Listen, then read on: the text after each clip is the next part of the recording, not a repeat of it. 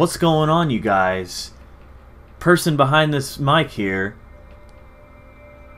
And today, I failed to um, parody uh, Kid Behind the Camera's intro things. Anyway. But as you can see, we are about to play the Jak and Daxter collection. First time I've, I finally got around to playing Jak and Daxter. well, uh, we, we got to start first. But before we get into this, let me take a few minutes to talk about this new ad thing. Remember, and also remember to like and subscribe. anyway, let's get started. Hopefully, it won't crap out on me here. Sometimes it likes to go and then just stop. We'll just see what happens though. Okay, we're good. It's a warning, so we're good. so yeah, uh, see, the previous game I played was on here was uh, um, Tomba,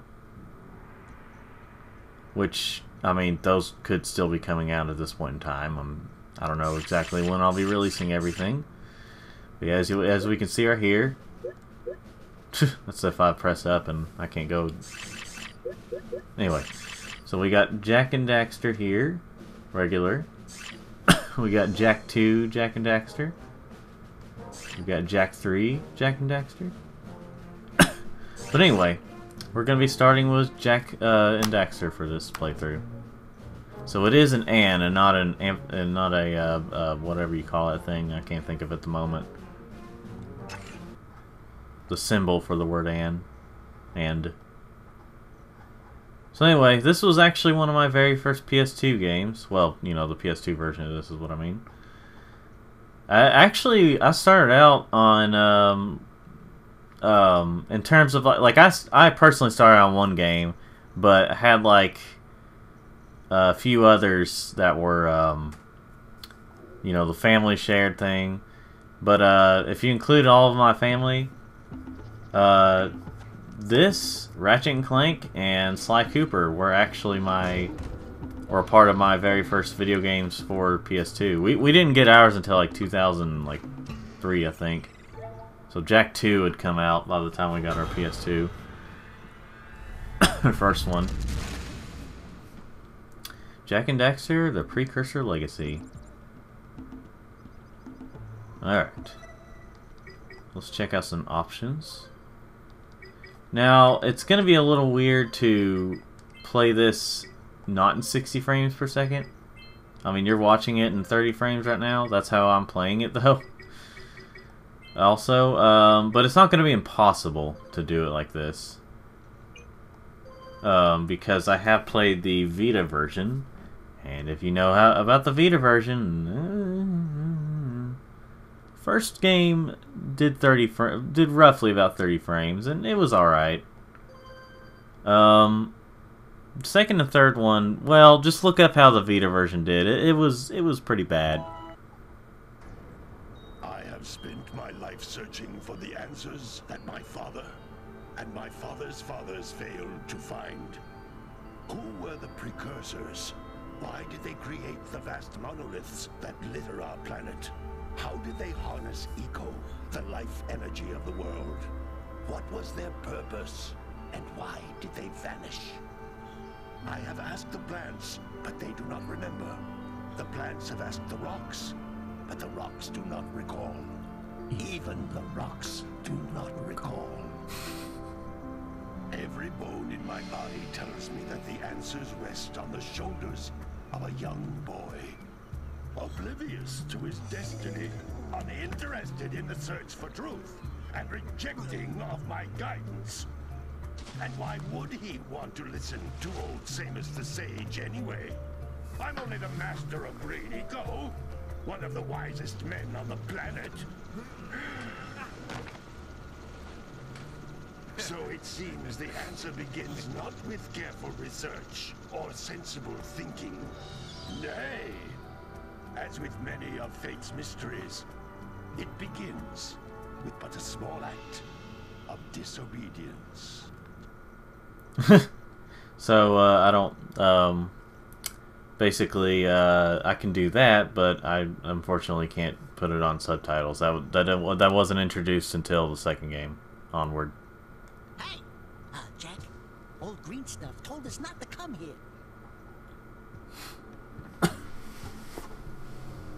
I was just letting you know that.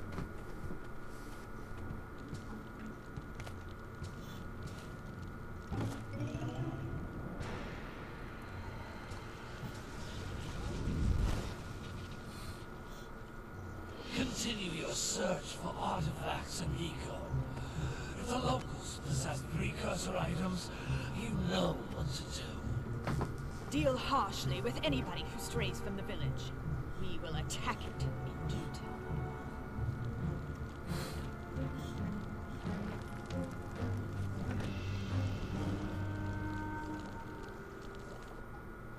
What are we doing here anyway, Jak? This place gives me the creeps.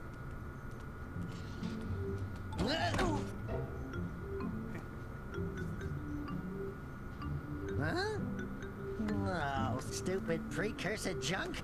I mean, this is Crash Bandicoot music. Eek! What is that dark ooze? It sure don't look friendly. the sage yaps on about the precursors that built this place all the time. Where did they go? Why did they build this crap? Now, I like precursor orbs and power cells as much as the next guy.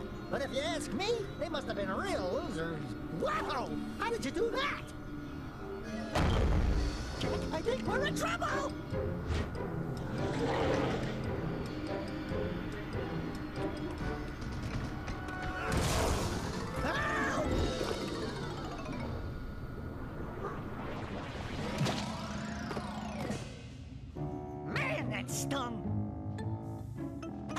We shouldn't have come here! Alright, we're back, ladies and gentlemen. Sorry about the interruption. Anyway, And you listened! What? Ah! Okay, okay. I'm fine. I'm fine.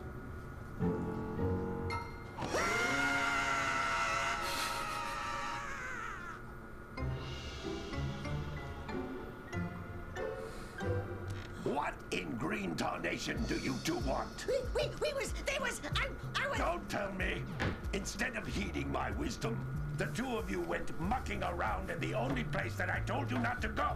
Misty Island. That's right. And then. And, Daxter, you finally took a much-needed bath, but in a bathtub filled with dark eco. Look, old man, are you gonna keep yapping, or are you gonna help me out of this mess? I'm gonna keep yapping, because in my professional opinion, the change is an improvement. And besides, I couldn't help you if I wanted to. What? There's only one person who has studied Dark Eco long enough to have a chance at returning you to your previous form. Gol Acheron, the Sage. But he lives far to the north. Far, far to the north. Nobody has spoken to him in ages. I would teleport you there, but I can't do that either. None of the three sages that maintain the other teleporter gates have seen fit to turn their ends on for quite a while. The only other way north is by foot through the Fire Canyon, but its volcanic soil is hot enough to melt precursor metal. You can't just walk through it. But you could fly over it if you had a zoomer equipped with a heat shield. I just happen to be working on such a thing at this very moment. All I would need is 20 power cells to give it enough energy to withstand the canyon's heat. Isn't that right, Daddy? Yes, Keira, that might work.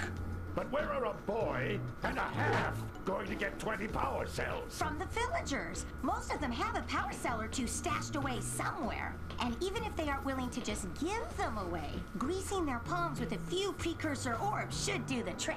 And I bet there are even more of them out in the wilds just waiting for some brave adventurer to find. Well, we've got the brave adventurer at least. Brave adventurer! You two couldn't find your way out of the village without training. Before you do anything else, you better go through the warp gate and get some practice on Geyser Rock. Uh, we won't find any more of that dark gooey eco stuff, will we? Cause I'd hate to fall in again and turn into you. Get in there before I turn you both into ferns.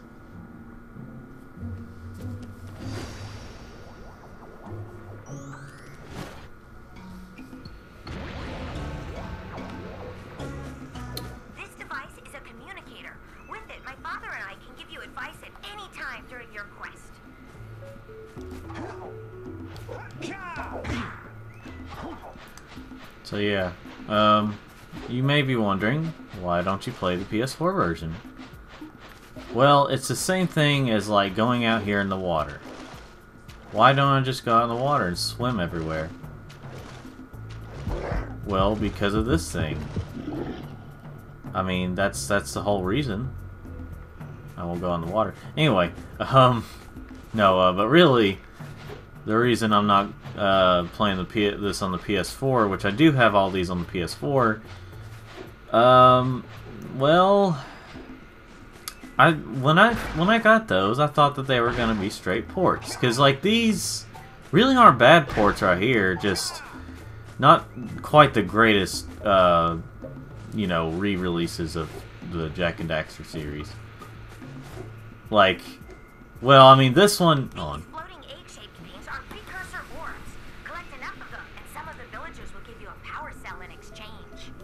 Well, isn't that cool?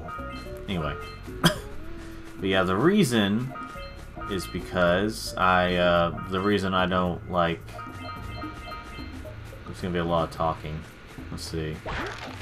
But, um, I'm playing this on PS3 basically because I, i it's, it's like the best thing I have right now. I don't have the PS2 versions anymore. So these are, this is the best one I have.